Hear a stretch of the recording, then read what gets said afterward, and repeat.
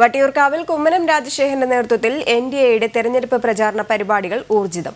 അവധി ദിവസമായതിനാൽ വീടുകൾ കയറി പരമാവധി വോട്ടർമാരെ നേരിട്ട് കണ്ട് എൻ ഡി എ സ്ഥാനാർത്ഥിക്കായി വോട്ട് അഭ്യർത്ഥിക്കുകയാണ് അദ്ദേഹം.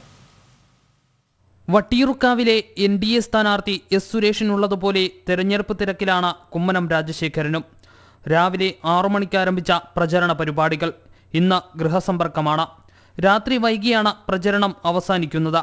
ഇതിനിടയിൽ തെരഞ്ഞെടുപ്പ് പ്രചരണ ഓഫീസുകളുടെ ഉദ്ഘാടനവും പരമാവധി വോട്ടർമാരെ നേരിട്ട് കണ്ട് വോട്ടഭ്യർത്ഥിക്കുകയാണ് അദ്ദേഹം. രണ്ടായിരത്തി പതിനാലിലെ നിയമസഭാ തെരഞ്ഞെടുപ്പിലും ഇക്കഴിഞ്ഞ ലോക്സഭാ തെരഞ്ഞെടുപ്പിലും വട്ടിയൂർക്കാവിൽ എൻ ഡി എക്ക് ലഭിച്ചത് വലിയ മുന്നേറ്റമാണ്. കുമ്മനം രാജശേഖരൻ ഗൃഹസമ്പർക്കം ഉൾപ്പെടെയുള്ള പ്രചരണ പരിപാടികൾക്ക് നേതൃത്വം നൽകി രംഗത്തിറങ്ങിയതോടെ വട്ടിയൂർക്കാവിലെ തെരഞ്ഞെടുപ്പ് രംഗം ചൂടുപിടിച്ചു. ഈ നിയോജക മണ്ഡലത്തിൽ പോലും തെരഞ്ഞെടുപ്പിൽ മുപ്പത്തിയൊന്ന് ശതമാനം വോട്ട് നേടിയെടുത്താണ് ഇത്രയധികം വോട്ട് നേടിയപ്പോൾ വോട്ട് കച്ചവടം വോട്ട് കച്ചവടം എന്ന് പറഞ്ഞ് കളിയാക്കുന്നതും ആരോപിക്കുന്നതും എന്തിനു വേണ്ടിയാണ്?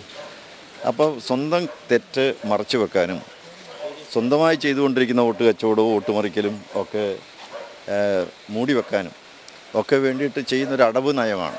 ഗൃഹസമ്പർക്കത്തിലൂടെ ഓരോ വോട്ടർമാരുടെയും പ്രശ്നങ്ങൾ നേരിട്ട് മനസ്സിലാക്കാൻ സാധിച്ചെന്നും കുമ്മനം രാജശേഖരൻ വ്യക്തമാക്കി.